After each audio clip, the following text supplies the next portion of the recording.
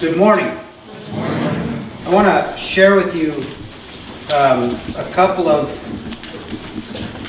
praise reports. Um, some of you may know about, actually, some of you may know about both of these, but uh, our, our, missionary family to Belize, the Kidders, uh, a year and a half ago, they were in a car accident. They were actually hit by a police officer.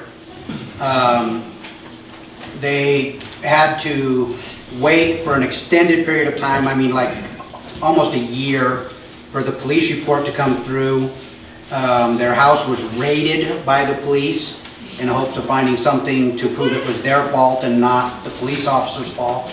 Um, the police report finally came back that uh, it was the police officer's fault, not their fault, and then they submitted everything to the insurance, and the insurance took another seven, eight months to come to a decision. Well, a week or so ago, we heard that the insurance had decided that even though the police report showed it was not their fault, the insurance believed that they were at fault, so they were not going to settle, and they were just out the vehicle.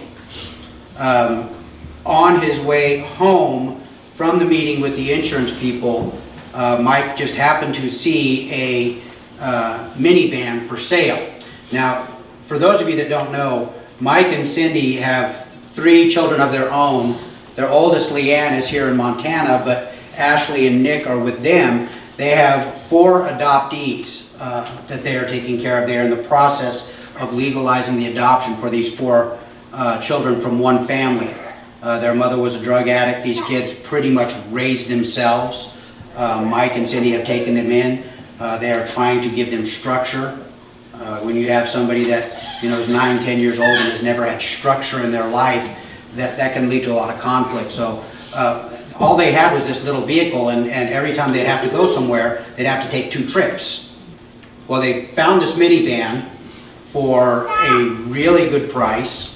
Uh, there were some mechanical problems, but Mike was able to fix the mechanical problems, and he found out from the insurance that they were willing to pay half of the cost of fixing the new vehicle. So there's our first praise report because not only do Mike and Cindy now have a vehicle, um, but the insurance completely did a 180 and, and is helping them fix the vehicle so that they can take everybody in one trip. So praise number one. Praise number two, last week we had, uh, I shared with you uh, the McDaniels, who are our missionaries down to Tepic, Mexico. Um, they had asked for prayer right before church on Sunday for um, housing.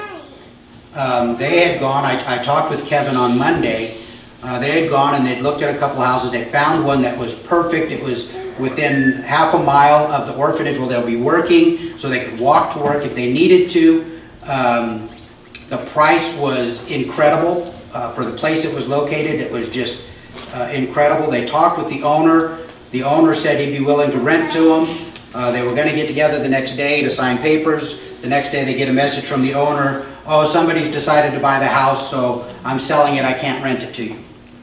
Well, they went out, they looked at a couple other places. Uh, the rent was significantly higher, the quality of the house was significantly lower. Um, they just said, okay, God, well, you're just going to have to show us where you want us to go. So he sends out the prayer request, please pray for housing. So we just know what we would need to do within an hour of that message going out, they get a phone call from the owner of the first house. The sale fell through, and he needs a renter. Would they be interested in signing a six-month lease? So by the time we were out of church last Sunday, they had a house. So God moves. He moves in response to our prayers. I use those two cases to show you. One of them took a year and a half, a little over a year and a half, to answer. But God answered.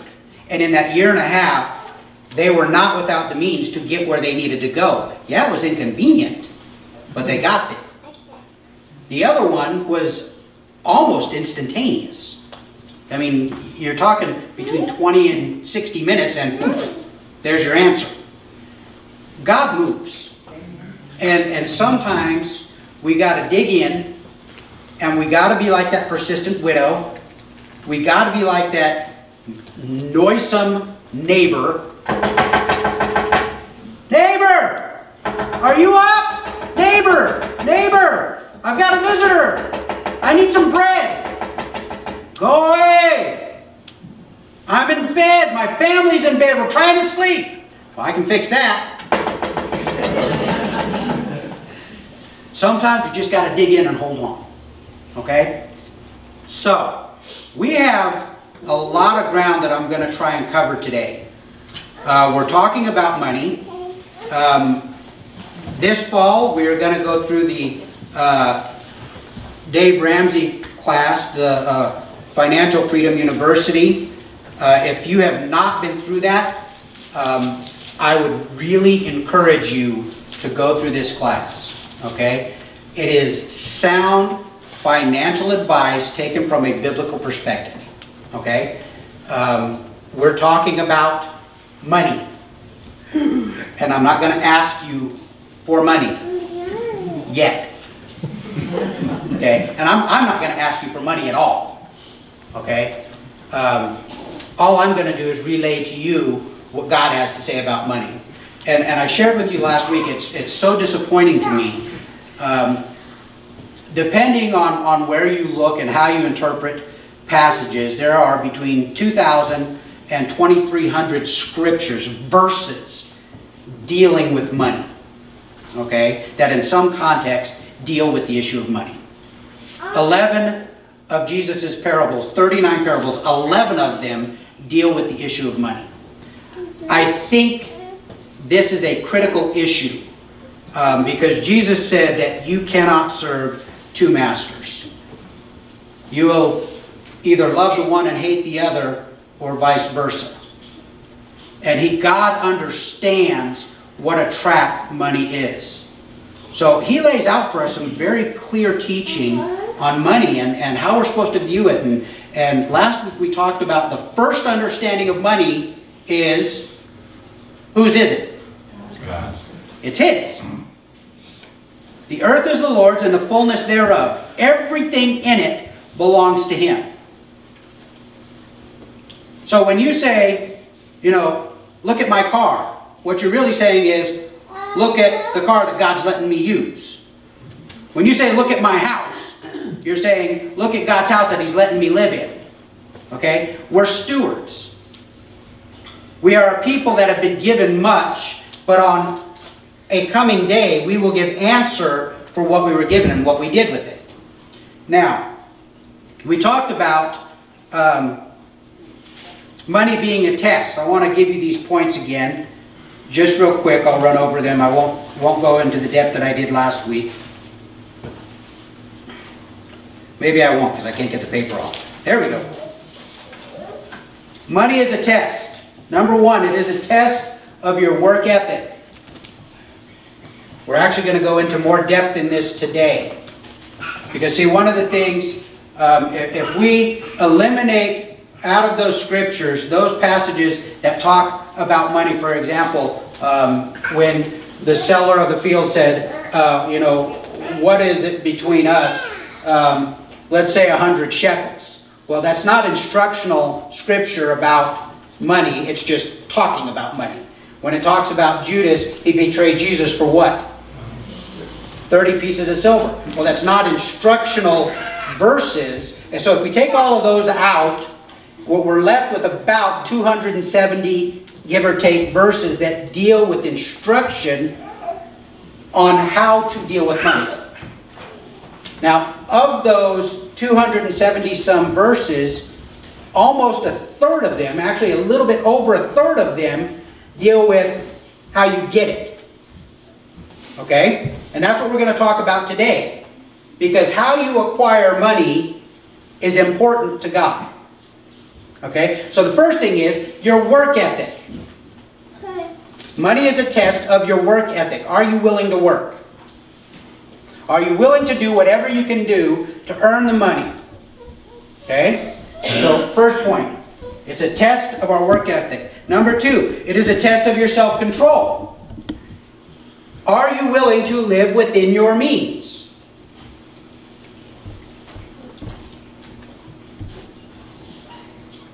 Is a Pontiac sufficient? Or do you have to have the caddy?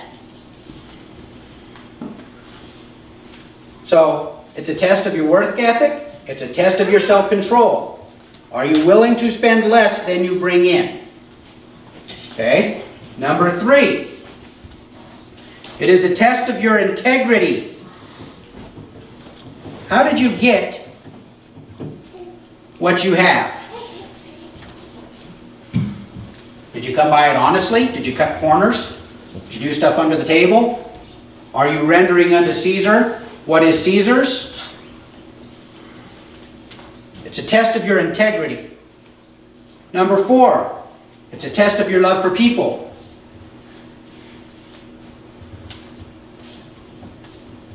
Have you gone out of your way to help someone when it did absolutely nothing to benefit you?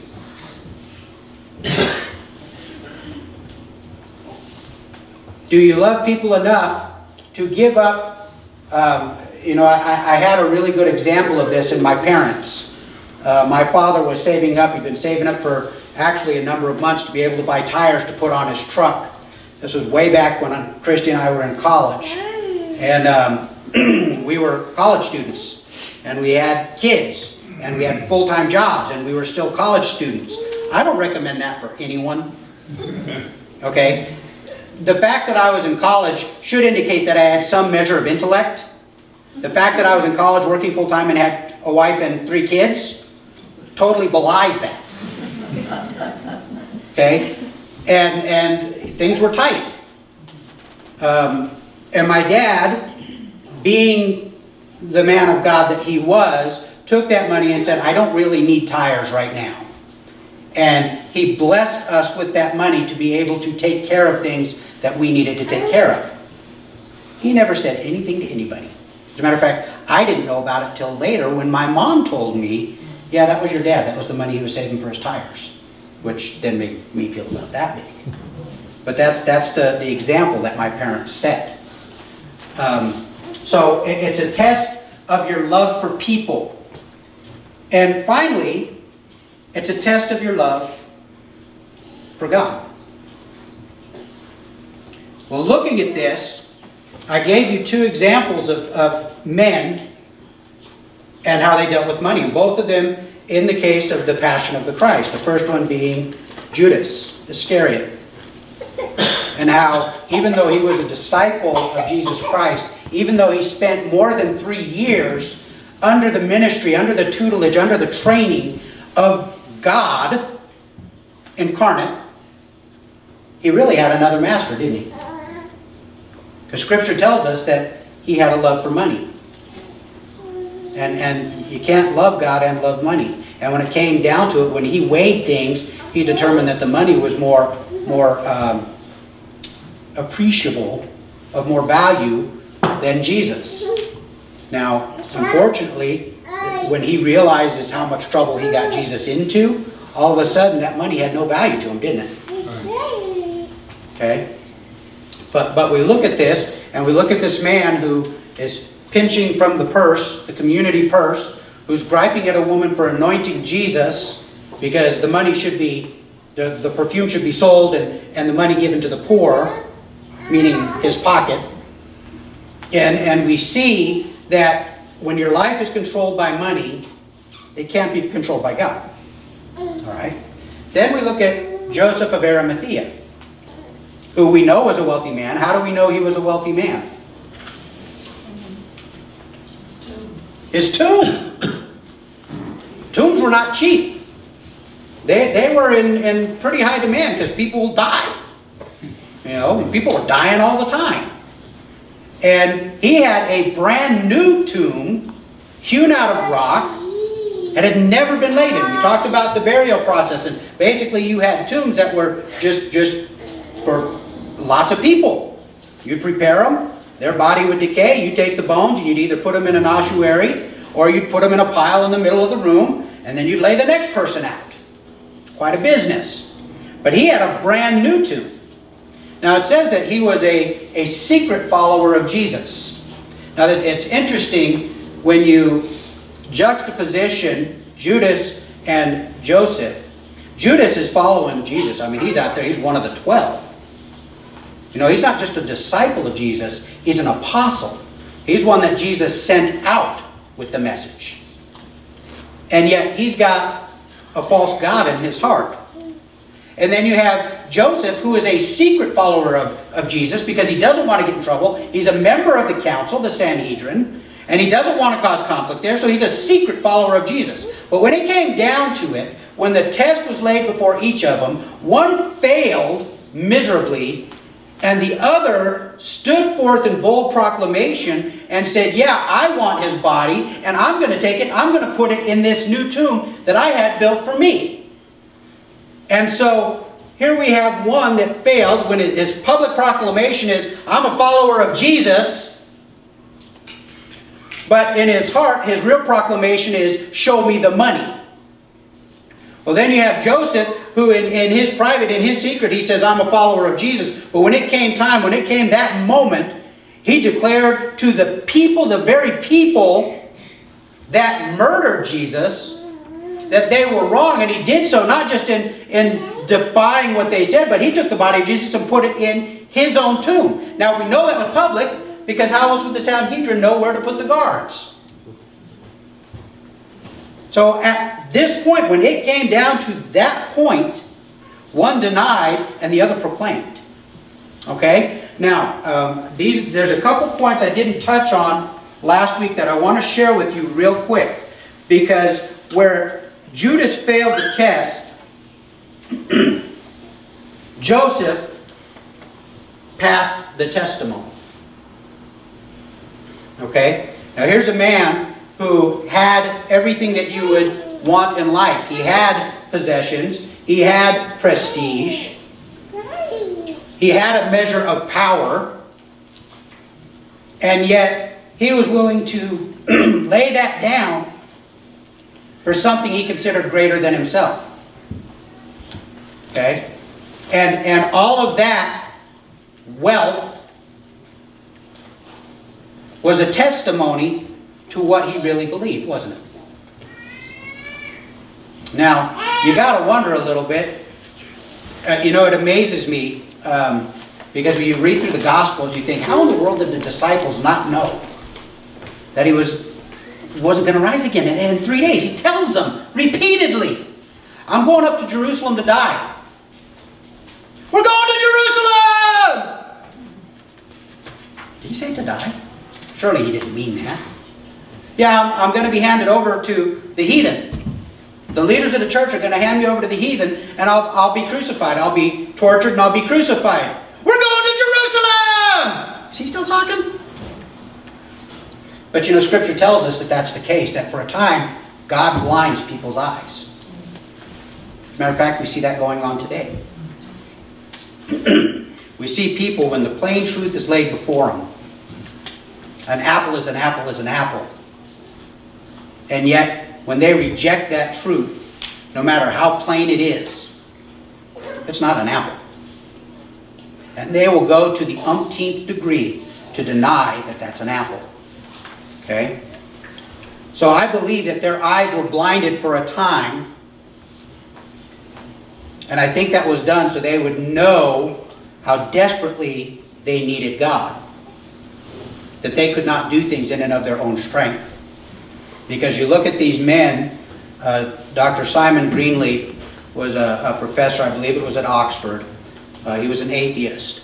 And he was challenged by his classmates to do a trial on the resurrection of Jesus Christ.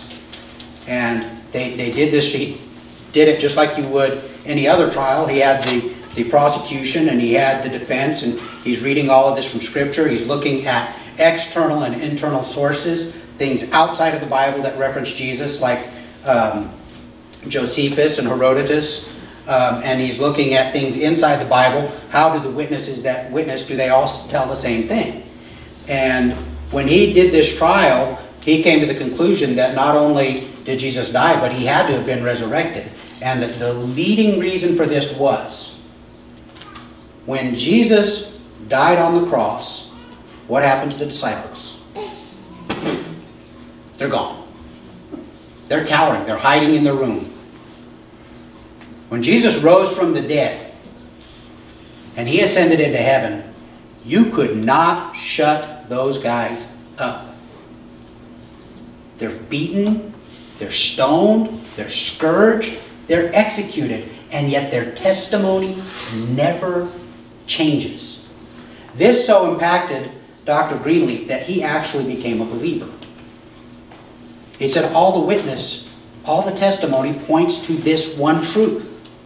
Because you are not going to die for something you don't believe.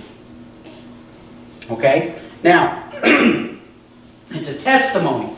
Is your money a testimony in your life? Is it something that you can, others can look at in your life and see what you believe? One other thing, money is a tool. it's a tool. It's a means to accomplish an end. I'm reminded of the parable Jesus told about the wealthy farmer. And his crops were in such surplus that he didn't have room in his barns for all of his stuff.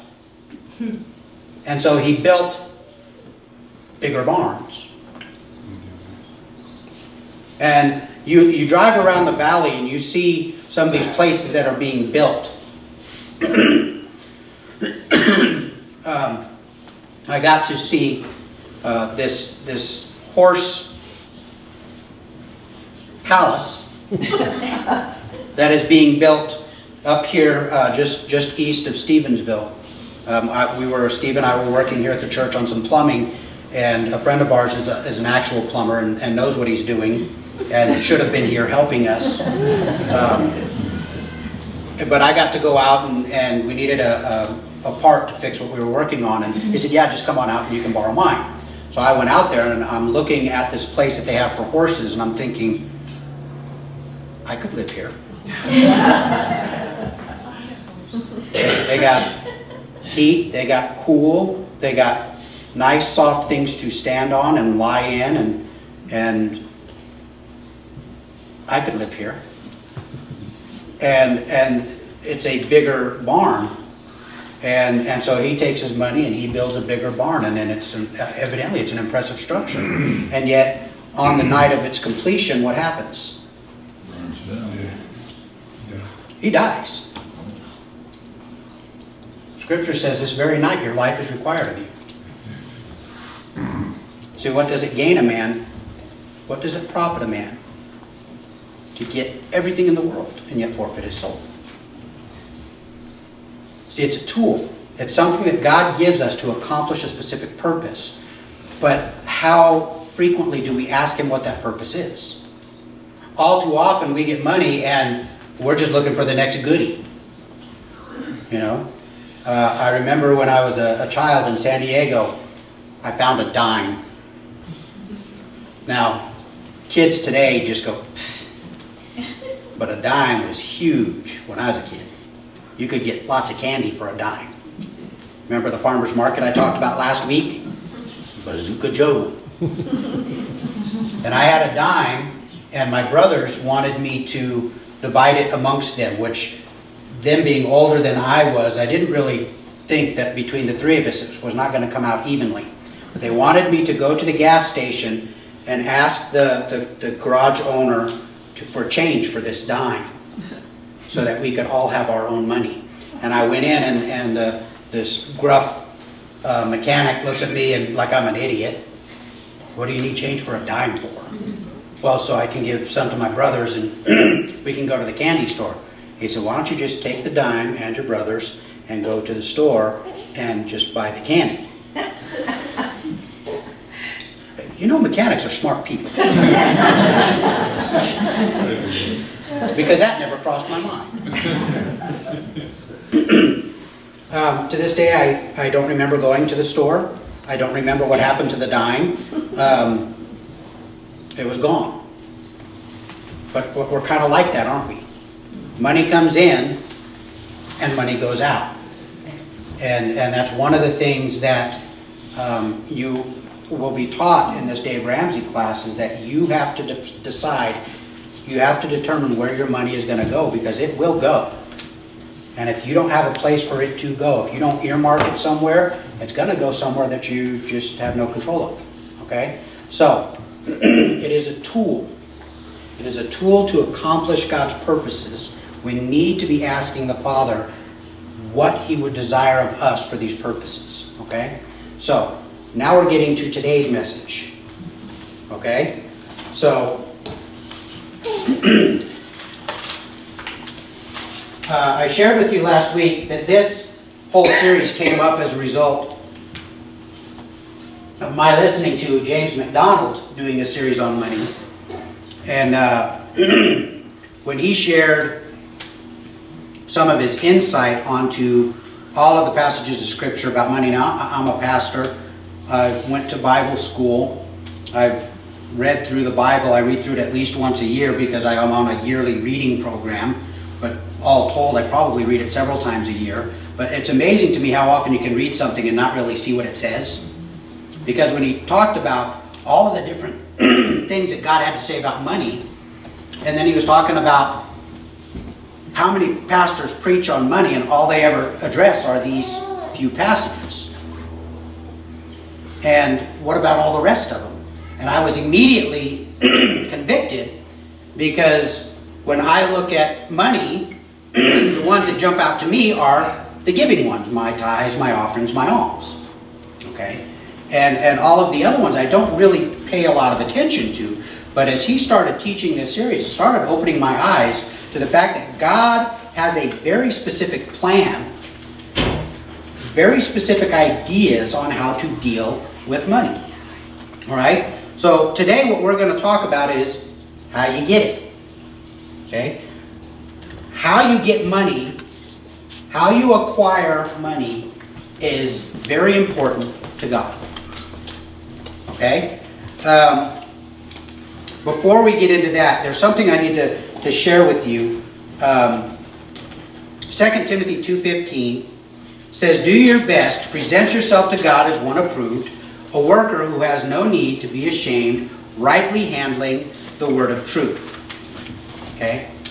Now, now rightly handling, the, the Greek literally means to cut it straight. Okay? Um, rightly handling, thank you, the word of truth means that we need to look into it and we need to see what it says. Now, all too often, um, while, while I find chapters and verses to be convenient, I actually find them to be almost as much a hindrance as they are a help. Because we tend to live with this thinking that the verse is all. Okay? And we don't very often, I, I hear people quote scripture all the time completely out of context. And we just take a particular passage that we like and we apply it to what we think is an appropriate situation, not realizing that it had something to do with a radically different situation in Scripture. Oftentimes I hear Scriptures actually quoted in the inverse of how they're used in the Bible. And so rightly dividing, cutting straight, rightly handling the Word of God, as a, a minister, uh, when, when I teach, there are three methods that are, are typical among preachers. There's expositional teaching, okay? And that's where you take a passage, like we did a few years ago. We went through the book of Colossians, and we start at chapter 1, verse 1, and we work our way through to the end of the book. Okay, that's expositional teaching. We see what it has to say, and we look at that, we hold it up in light of what the rest of Scripture says, so we have a better understanding of what we're being told.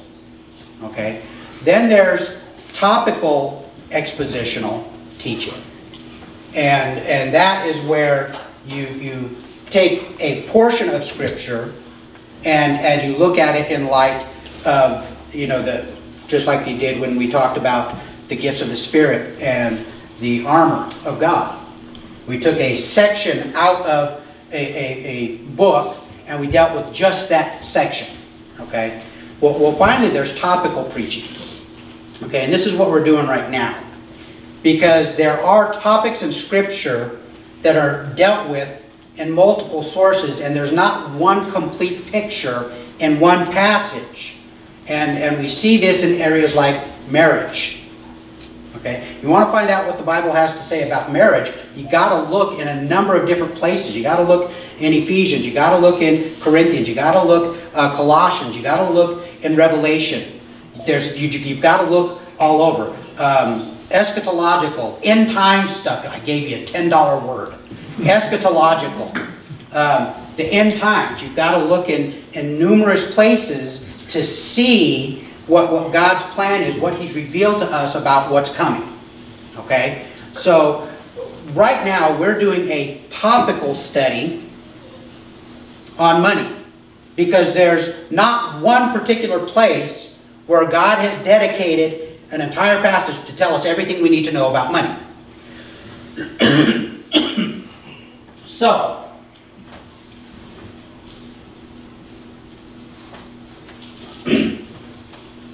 saying all of that to say this, when the danger that you have with topical preaching is that it's too easy to pick the verses that say what you want to say and to ignore the verses that don't. Okay? Um, this is, you can actually call this uh, inductive or eisegesis um, study because what you're doing is you have a preconceived idea, whether it be it's your own idea or you read a particular verse and develop the idea, and then you go back through the Bible and you find all the things that support your idea. Okay? And if there are things that don't support your idea, you write them off, you excuse them away, or you brush them under the rug. Um, some years ago, uh, we were listening to a series on um, health and wealth. And one entire message in that series was why all of these scriptures don't apply. And I, am listening kind of dumbfounded as this, this person that was teaching was taking all of these scriptures that very plain in their reading and their, their understanding don't really fit anymore. And what it came down to is because they didn't agree with what the teacher wanted said. And I, I thought, well, why are we making excuses for God's Word? Um, Thursday evening, we are having our brothers meeting. This is our, our monthly brothers meeting. I'm making a change Thursday. I am actually inviting everyone in the congregation. Um, for those of you, I think Tim uh, saw it. Um, I, I, watched a message by uh, Tony Evans um, on racism. This is a hot button issue with everything going on in the U.S. today.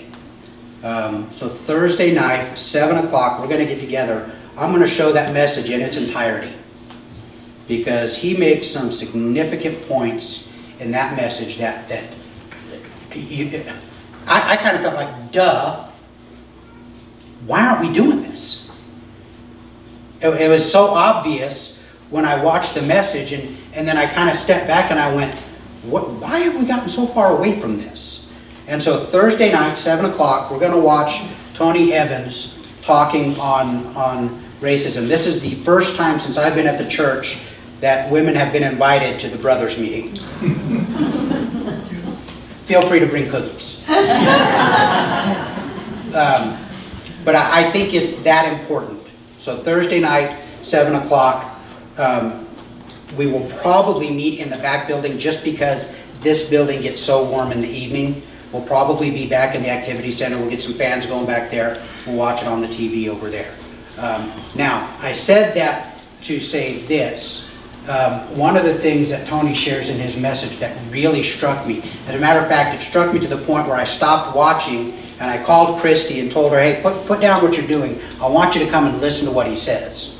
And he was talking about, we, we want to say, you know, we are, you know, I'm, a, I'm an American Christian, or I'm a white Christian, or a black Christian, or a Chicano Christian, or, or whatever. And, and he talks about, I'm, I'm not sure that the words he used were actual words, but they conveyed what needed to be conveyed. And he talks about how the, the descriptor, the adjective in this phrase being white or American modifies the noun, which is Christian. And so the noun has to be adopted to the adjective. And so when you say you're a white Christian or you're, you're a, a Protestant Christian or you're a, an American Christian, Christian by definition, by the way you presented it, has to form itself into what you are claiming. Okay? And that's totally backwards from the way that God intends it to work. Because, see, the Christian is supposed to be the adjective that modifies the noun that is whatever you are, whatever I am, and makes that change. Because I'm not trying to shape Christ into my image. The goal is that I will be shaped into his. Okay? so, with topical teaching, the difficulty we run into is picking and choosing the scriptures that we want to apply. All right? Now, I'm doing topical teaching, and unfortunately, because we have a limited amount of time, because some of us will die soon, soon being relative to others of us. Dennis is going to outlive me. I have no doubt. Um, so I'm limited on time. Okay? So I'm not going to get to deal with all of these scriptures. We're not even going to get to look at the majority of the 270 instructional scriptures on money. But what I'm going to do is I, I want to break it down by subjects for each of those categories.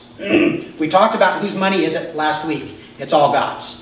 Okay? So we have to have an agreed foundation, a shared foundation of understanding that it's not mine.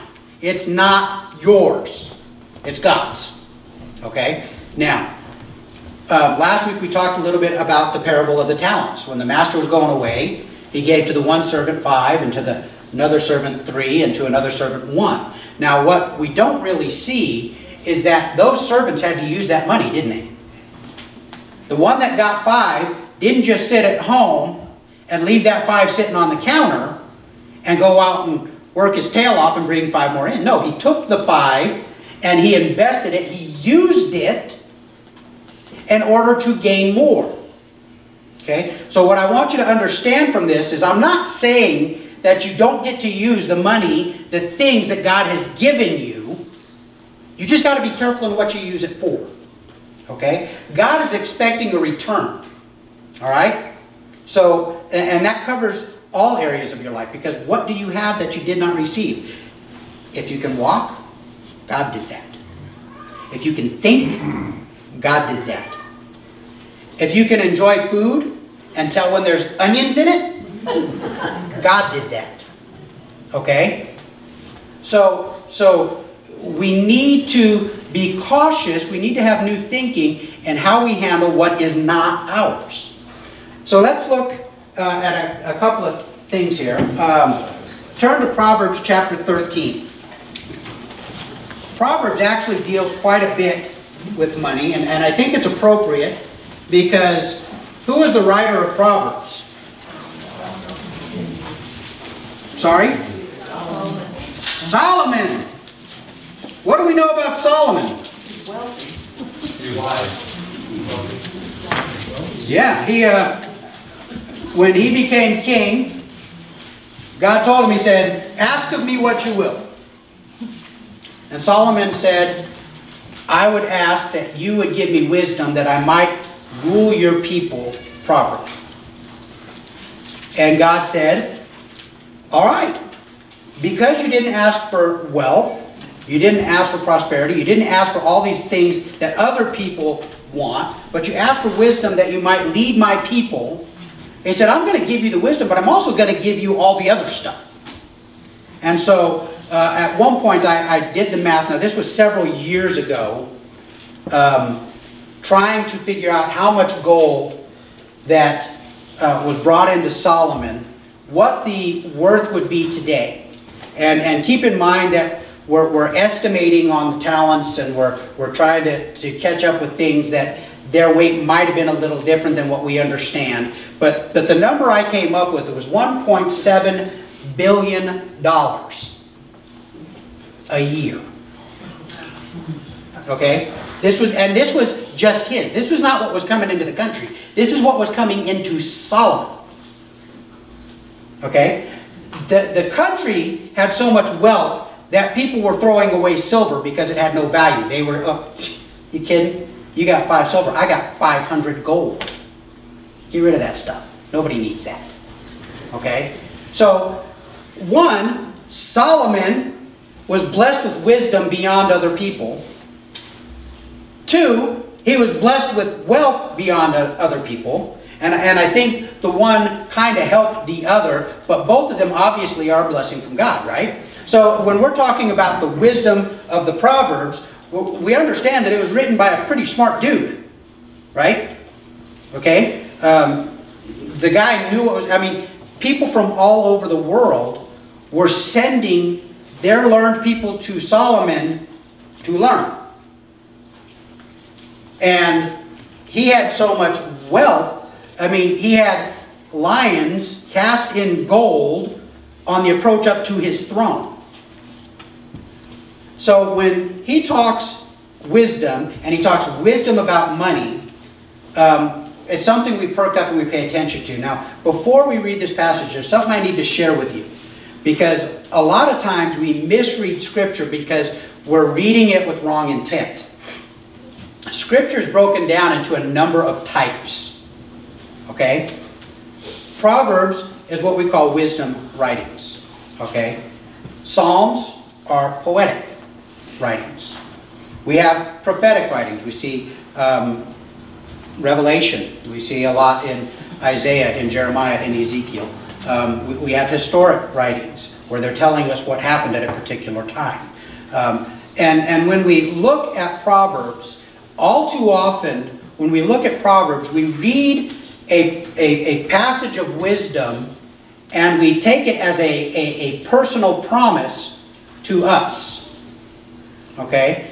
And, and really, a lot of times, I don't think that's what's intended. Solomon, in his wisdom, he's writing down the things that he has observed in life. As a matter of fact, if you look in Ecclesiastes, you see he observed a lot, don't you? And, and what he's writing down is is these are the things that most often happen. Okay? For example, when he says, train up a child in the way he should go, and when he is old, he will not depart from it. He's not speaking that as a promise that, hey man, if you get him to Sunday school every Sunday, they're going to be a preacher. Okay? Well, what he's saying is that generally the rule of thumb is if you raise them properly, you will have well-behaved adults. Okay? You teach them the word. When they get older, they're going to remember the word.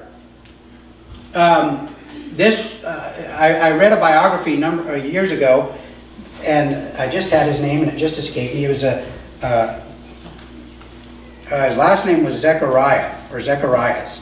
Uh, he was shot down in Vietnam. He was a pilot, and he was put in one of these little small you can't even call it a room. It's basically a doghouse. And he and the guy on the other side of the room, they would tap on the wall and they'd pass messages back and forth in Morse code. And they would pass it all the way down because it was a strip of like 12 it wasn't even a cage. Was, there was not room enough for him to stand up nor lay stretched out. Okay? And, and what he said was, you know, he had not been in church since he got out of his mom and dad's house. But when he was growing up, his parents made sure he was in church every Sunday. And the guy next to him was a Mormon. And between the two of them, they were amazed at how many scriptures they could remember. And they would tap to each other scriptures to encourage one another. And they'd pass it down the row and then they'd pass another one back and, and those things that he had committed to memory as a child came back to him as an adult. Now the observation is if you do these things properly, the, the end result is most likely going to be good. But it's not a guarantee, is it? Because how many people do we know that have done everything that appears to be right and then when their child came of age, their child chose to go do whatever they did. And some of them, they, they man, they went deep. they wandered far. You know, uh, the prodigal son. This was a man that believed God. And yet when his son came of age, he took off and he did everything that he was not supposed to. Okay? So it's not a promise saying that, you know, if you do it all right, I'm going to take care of it. And now, I believe that it's a revelation of God's heart. Okay? And I believe that there's a special place in the prayers before God, those prayers that come up as incense before God, for a mother's cry for her son or daughter, or a father's cry for his son or daughter. That, that, that is a special place for God, and, and that receives special attention from Him. But it's not a guarantee. It's an observation of normalcy. Okay? So when, when you read Proverbs, first understand that what, what Solomon is speaking out is the general outcome of a particular circumstance. Okay? So Proverbs chapter 13, um, verse 11 says, Wealth gained hastily will dwindle, but whoever gathers little by little will increase it.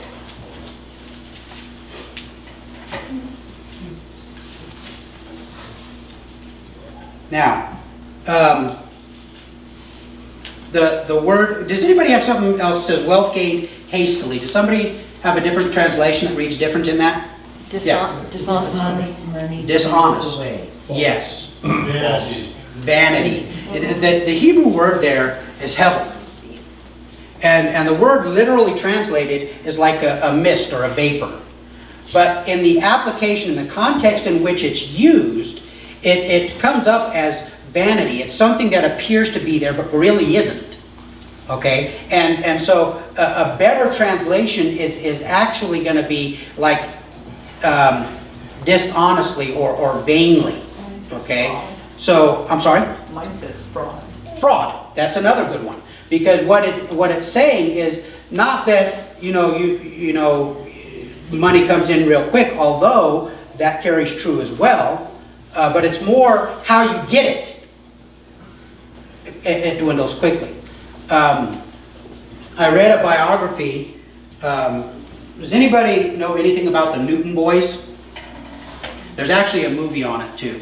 Uh, Matthew McConaughey plays in it. The Newton Boys uh, were uh, a group of brothers. There were uh, at least three. There might have been four. I remember three.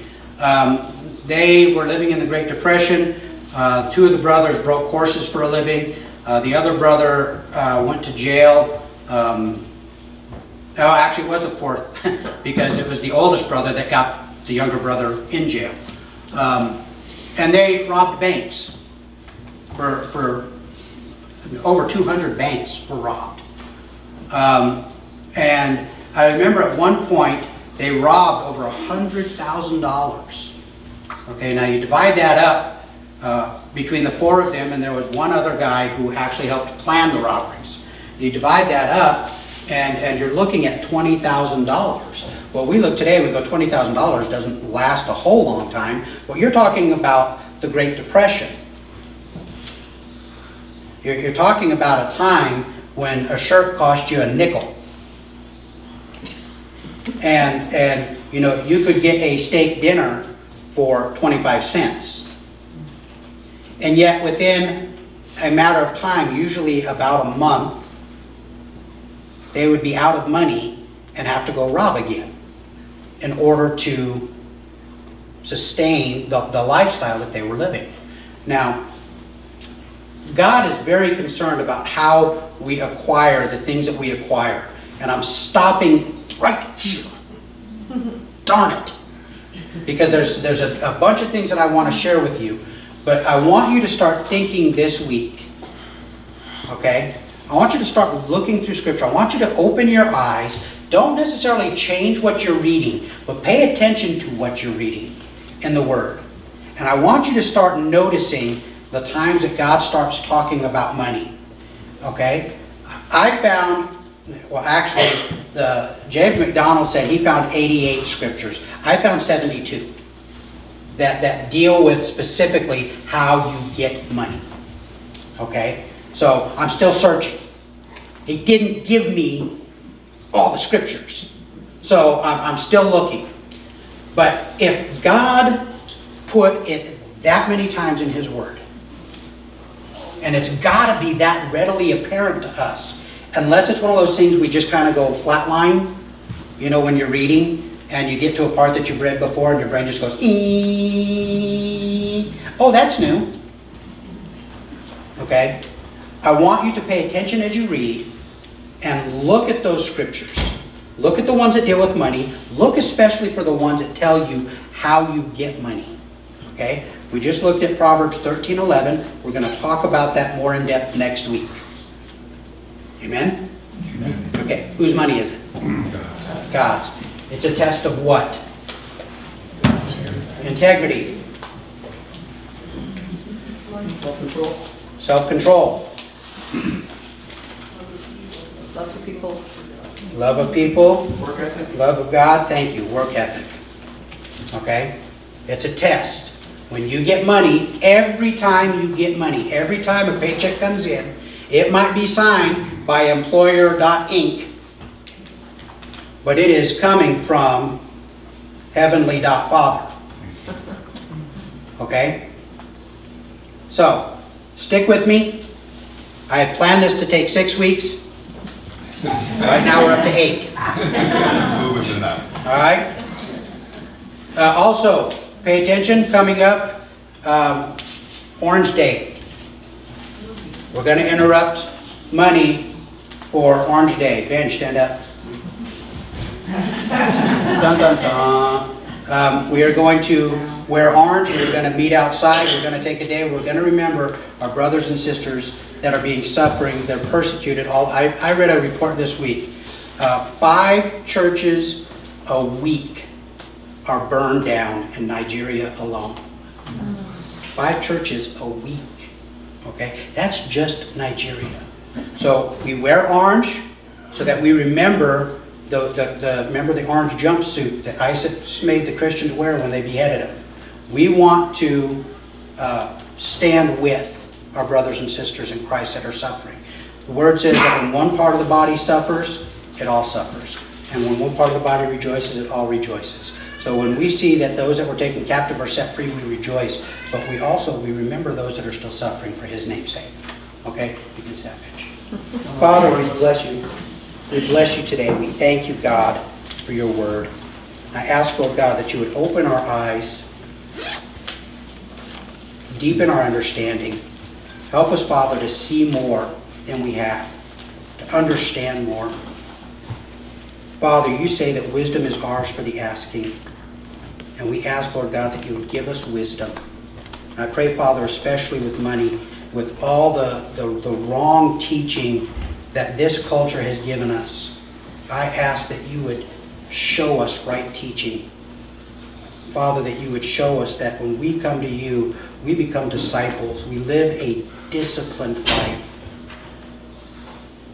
And we only can do that through your Spirit enabling us. So I ask, Father, that you would, this week as we read your word, you would open our eyes to see those scriptures, to have a deeper understanding, a richer understanding of your word. We bless you today, Father, in Jesus' name. Amen.